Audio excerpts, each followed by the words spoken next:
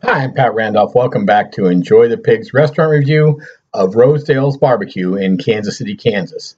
Uh, as you may or may not know, Enjoy the Pig is sponsored by Uber uh, and uh, Uber's driver referral program, which will pay you up to $200 and us up to $200 if you use the code, which should be on your screen now. So if you uh, use this code when signing up as an Uber driver, uh, we'll get you a bonus and you will support Enjoy the Pig in our ongoing efforts to provide quality restaurant reviews around the nation. Um, today is the uh, review of the restaurant we are naming the best white barbecue in Kansas City, Rosedale's Barbecue.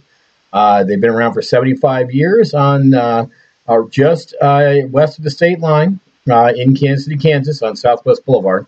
Uh, this restaurant is uh, is known for kind of a peasant food offering. It's been around for a long time. Very popular restaurant, and at one point in time was the least expensive barbecue restaurant that I know of in town. Uh, with uh, also uh, in combination with Quick's Barbecue down the street, which sadly closed after many many years of operation just recently, um, which offered the same style of barbecue. Now, uh, uh, Rosedale's barbecue is white barbecue prepared in a smoker behind a restaurant. Uh, and uh, so that's going to be a very kind of a fatty, tender uh, style of barbecue served with multiple side items uh, on a plate. You can eat it in. You can eat it in at a counter. Uh, there are some tables, uh, or you can take it to go. Uh, unfortunately, they are both both to go and and in in store are served in styrofoam. Not my favorite. But what is my favorite is Rosedale's fantastic preservative free barbecue sauce, which is unbelievably good. Uh, and you don't want to drown it uh, like you would with Gates sauce. It's a little bit different. Extremely spicy, very tasty. Um, Ro- Rosedale's offers a wide variety of beers and sodas, but really, Rosedale's barbecue should be properly eaten with a can of RC uh, or, a, or a quart of Miller beer. That's how uh, Rosedale's uh, uh, that's all Rosedale's used to offer, and I believe that's still the way to eat it. Rosedale's has two specialties ribs and chicken. Uh, they're uh, half burden fries uh, with an RC, which for decades was about $5, I think is now about $10. Uh, uh, Rosedale's did experience a slight dip in quality in the last half of the last decade, and they have since improved their, their meat product. They have a new meat distributor. Um, and they've improved their cooking methods, and uh, their barbecue's back up to what it used to be. Uh, Rosedale is also famous for its crinkle cut fries, which you can order. Uh, you can order as you like. You can order them uh, crispy, uh, and you'll get them a little bit more well done. Uh, their fries are fantastic. in my opinion, the best fries I've ever eaten, and and you can get them. you know, like I say, they come with most of the items on the menu. Rosedale's does offer a wide variety of foods, and something I like is they offer non-barbecue offerings, which is great if you're going to bring the kids along. Kids often do not have the palate to, uh, to eat barbecue, and uh, uh, you know, unlike places like Gates, uh, Rosedale does not take itself super seriously. Uh, you can go there; it's relaxed atmosphere. Uh, you know, my favorite server is Stephanie. she works during the day on Wednesdays and on Saturdays. Uh, but they're all nice women there serve, who uh, serve you. Um, uh, the food is a, a, very good, consistent quality. Uh, the chicken is very tender with a crispy uh, again, it's cooked in a smoker as opposed to a pit. So that's generally accepted as the best way to cook a chicken. and it's reflected in the quality of the product. Very good quality product.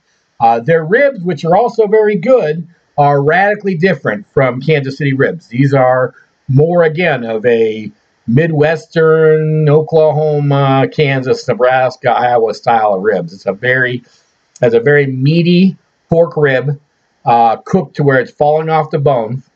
Um, a little bit difficult to eat because of, uh, of the uh, the consistency of the the meat is going to be is to be very thick and it's going to be very greasy. So you're going to want to uh, not eat uh, maybe a half slab of ribs like you would at Gates. You're going to want to maybe have a couple bones because it, it, it will it will fight back on you. Uh, but uh, their ribs are very good. Now their pricing is slightly less than a place like Gates and markedly less than Oklahoma Joe's or Q39, which shares this style of barbecue. Uh, their ribs are about fifteen dollars a slab twenty dollars a slab. I believe that they are going to charge based upon the weight of the ribs, uh, unlike a flat rate, which some of the barbecue places charge. And again, their half bird fries and soda is going to be right around $10, which would be the two items I would get. They do have a dish called the Flying Pig, which I think is a really it's uh, it's it's two or three bones of ribs, uh, which really uh, is enough because that style of ribs again you don't want to eat a whole lot of them and they're real meaty. Uh, two or three bones of ribs and on top of a half bird, on top of a uh, of beans, slaw, and fries. Uh, you can't get all fries. Their beans and slaw at Rosedale's are again pretty typical white barbecue restaurants. they're not real strong, but their fries are very strong. so I recommend those items. Um, Rosedale's Barbecue has been in, business for over over 75 years. Uh, they have they have utilized a traditional smoker, which is kept behind the restaurant. Uh, they I do not believe that they smoke. They think they smoke their chickens and their ribs separately, um, and uh, they are um, uh, uh, they are in a in a you know they're open till nine o'clock at night, and it's a really good, like I say, kind of peasant food offering. It's nothing fancy. And uh, and a lot of Kansas Citians eat there. I'll frequently see people from the Kansas City Star eating there.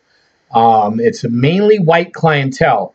In fact, I'm not sure I've ever seen a black person in Rosedale, to be honest with you. But uh, uh, it was originally Rosedale's and Quick's kind of came about with the emergence of the auto industry in Kansas City, Kansas, which was originally in Missouri, uh, but moved to Kansas after uh, uh, labor laws in Missouri uh, were a little bit more favorable for you know, the laborers. So a lot of a lot of big factories, including a, a gigantic GM factory, opened up there in in that area uh, uh, near uh, the Quicks and Rosedales, and so that's kind of how they became popular. they have become emboldened by the by the American Royal Barbecue, and although I not even know if they're competitors, I know they haven't ranked very high. Uh, that style of barbecue is the style of barbecue you would get at the American Royal Barbecue competition. Um, so uh, if you're coming to Kansas City, you want traditional white Kansas City barbecue, this would be the place to go. Rosedale's, they've been around the longest. Their product quality is consistent. If they're nice people, it's no stress. Just go in there and enjoy yourself. Uh, they've always got a game on, and the the wait staff is pleasant and relaxed. And then you know, and then like I say, it's no there's no servers, just like there shouldn't really be servers in barbecue restaurants. This is like that. You know, it's got a table with a roll of paper towels on it. Um, you help yourself to free water and refills on your tea. Uh, and uh, like I say, a can of RC or a quarter Miller beer is what you want to eat them with, even though they do offer a variety of craft brews and a million other things. This is a kind of a new thing in barbecue. It, you know, barbecue, it, even though it's gourmet food, and I would argue with anyone that it's, you know, who, who, who would care to differ, barbecue is gourmet as any food. Um, you know, uh, a good pilsner beer is what you want to what you want to drink with it. You don't get anything dark, heavy. Don't don't get a blue nun or something like that. Just enjoy it with a nice pilsner beer. Uh, and uh, Boulevard has some fine offerings, which they offer there at the restaurant. Also, of course, uh, back in the day, they had quarts of beer. You get a Miller, quart of Miller. That's what they offered.